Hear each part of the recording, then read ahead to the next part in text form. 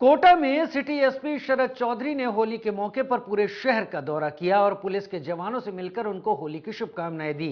SP ने इस दौरान जवानों को मिठाई खिलाई और बधाई भी दी।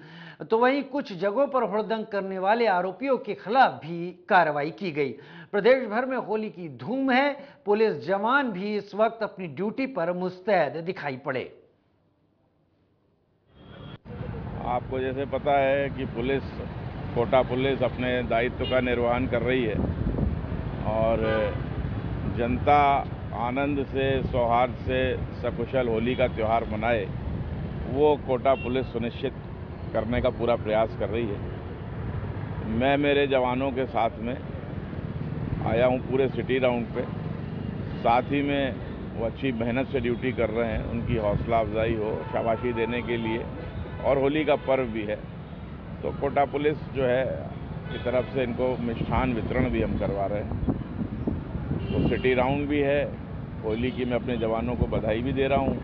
और जैसा आपको विदित है कि कल, एक दिन बाद, होली जो है, वो राजस्थान पुलिस पुलिस लाइंस में मनाती है। तो हम भी कल अपने पुलिस लाइंस में इन जवानों के साथ होली का पर्व मनाएँगे।